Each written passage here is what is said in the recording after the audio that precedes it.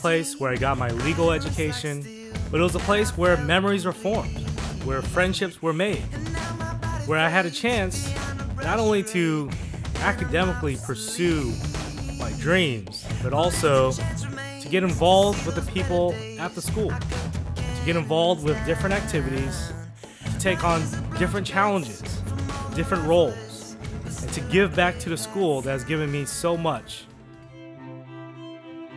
So every chance I got to speak up in class, I would. I always made an effort to participate, to raise my hand, and to contribute in a meaningful way. Paul um, was a student last semester in my critical race theory class. So he wrote his paper on, on whether, to what extent affirmative action is a important policy for Asian Americans. And it was a really good paper.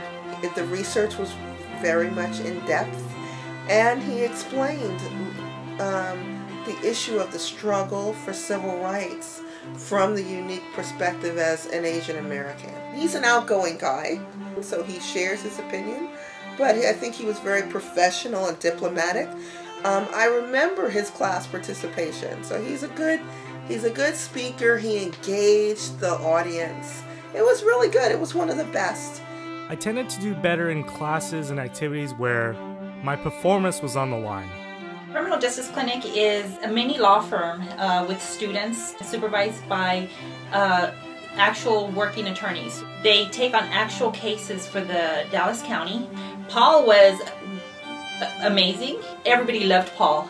Funny, serious when he has to, always took care of business. We knew that the cases that were assigned to him would be taken care of. He organized a ethnic potluck where he organized all the 12 students and, and he got most of them to bring in a dish of their own ethnicity.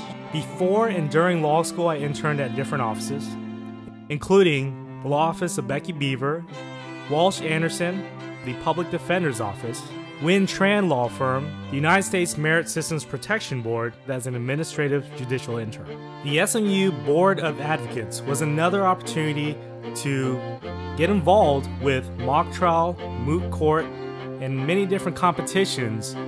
I tried out for teams, and luckily I made a team each and every semester in which I tried out.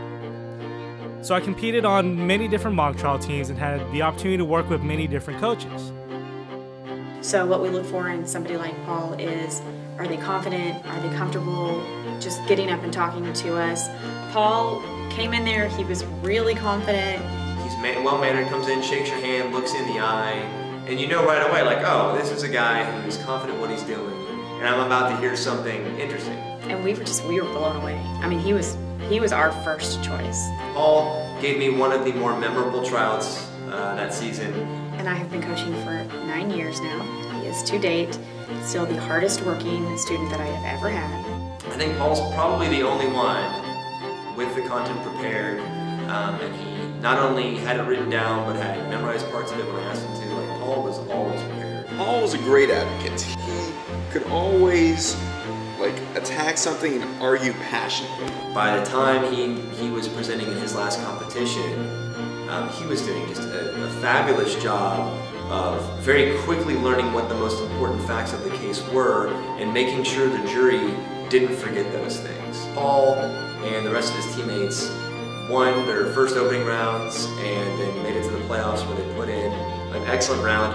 I mean, I think Paul has that kind of that winning attitude you have to have in order to, to want to be a litigator, but he does it in a very gentle, very easygoing way that makes everybody like him Paul brought a, a, family togetherness, if you will, to the team. He, he brought us food one day, I remember that. And uh, since then I was like, okay, this Paul guy's okay. And once you get Paul out of his suit, uh, he's just a fun dude to hang out with. Paul brought his camera. I don't think Paul's ever been separated from his camera. Now we've got all these great pictures of the event.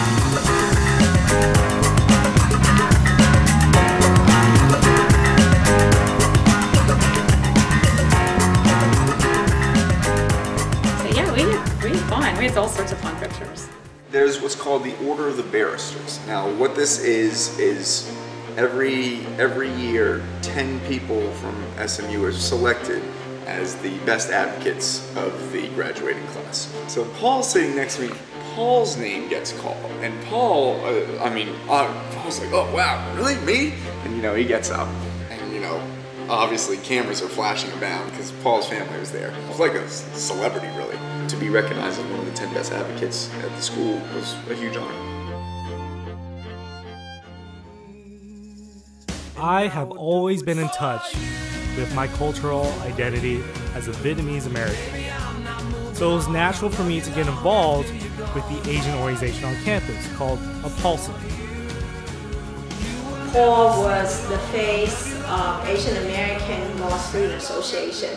Here we have somebody who so identified himself as Asian American, who wants to be part of the law school community, who wants so much to show that the Asian American student is here as part of the law school culture. He was a natural born leader, and I would say that compared to all other students that I've known at SMU, Paul just took the position and transformed APALSA. He hosted many events for APALSA, connecting APALSA with other law organizations, connecting APALSA with Asian American lawyers in Dallas, and also connecting APALSA with the national leadership as well. The law student leadership at APALSA has become incredibly active on the national level. Certainly that was true when Paul served as a director. We won the National Affiliate of the Year Award, the coveted award for all APALSAs across the country. They are lavish events. They are the events that brought everybody together. He introduced these videos. I was I was so amazed to look at the overview of what happened the year before. And what Paul did is to create memory for us and also to create history for us. And I hope that APALSA will carry on that tradition what he's done in, in APALSA, to me, he has always been building bridges. DABA is a professional organization of attorneys mostly advocating for the interests of Asian Americans. I definitely remember Paul coming to a DABA meeting and gave a presentation to the board about ways in which DABA could partner more with law students. They initiated that meeting. They wanted to make the presentation, and, and they did a very good job of it too when they came to that meeting. So we were all very impressed. What better way to make sure things like that are happening than to, to put a law student on our board so that the students involved from the very beginning. Soon after, I was appointed the very first student advisory director for the Dallas Asian American Bar Association.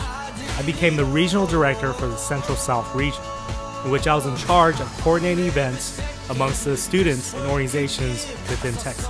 Because it's not about himself as a leader, but about other people, and that is rare. With that type of skills, Paul will be a great lawyer somebody who is selfless, who cares enormously about the community. The enormous amount of time that Paul gave to SMU, that to me is valuable. Paul worked with the international students. I have always had a desire to learn about the cultures of other people. We have a group of dedicated law students that are called uh, LLM Mentors. It's a program where lawyers from other countries who already have their law degree and uh, can come here and they study for a year. Paul was instrumental from the very beginning and showed so much enthusiasm and, and, worked on it for three years. That program starts from the minute they come on campus uh, through orientation, making sure that simple little things like where we buy our books and, and helping them with registration and just having friendly faces of people that are here already. When I meet Paul through the um, mentor program, he was very nice to all of the international students and uh, we had a great time together. Paul's an innovator. Uh, Paul is always thinking not of how have we done things, but how can we do things. During the time Paul has been there, the program has expanded so that the mentors stay involved both semesters, not just with orientation, but with helping students plan and, and providing uh, social activities. The Halloween party is wonderful. People show up uh, with their traditional customs, clothes, and uh, we had to try uh, different cuisines.